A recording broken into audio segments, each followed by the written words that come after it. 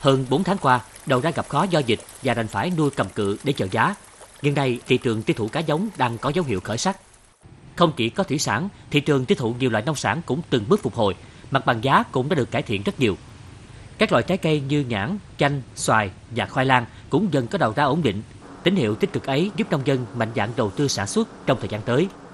Cái những cái kênh mà phân phối truyền thống trước đây, đặc biệt là những cái kênh mà chúng ta đã kết nối được qua cái mùa dịch vừa qua đó, thì hiện nay thì vẫn giữ được những cái hợp đồng này đó là những cái cái cơ hội để mà coi như là chúng ta mở thêm được cái thị trường mới giữ được cái thị trường mới cho cái hàng nông sản hay là đối với thị trường ờ, xuất khẩu thì hiện nay thì đối với cái mặt hàng đặc biệt là mặt hàng thủy sản vời gạo thì cũng đang là có những cái cơ hội mới để mà mở ra à, cho thị trường xuất khẩu.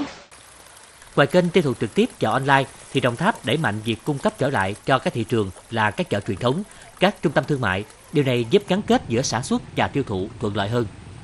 Cái triển khai thực hiện cái nghị quyết 105 của chính phủ về cái hỗ trợ doanh nghiệp, hợp tác xã cũng như là hộ kinh doanh trong cái việc ờ, ờ, chịu ảnh hưởng của ờ, dịch Covid-19 trong cái bối cảnh tình hình dịch bùng phát. Cụ thể là tập trung trong các cái giải pháp như là hỗ trợ cho các đơn vị này thực hiện cái công tác về cái phòng chống dịch,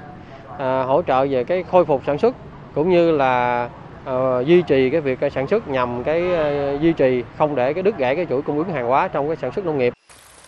Nông nghiệp vẫn giữ vai trò chủ lực trong phát triển kinh tế của Đồng Tháp. Vì vậy, thị trường tiêu thụ nông sản khởi sắc vừa giúp đẩy nhanh tái sản xuất, vừa góp phần cung ứng đủ hàng hóa cho nhu cầu tiêu dùng của người dân vào dịp Tết Nguyên đán sắp tới.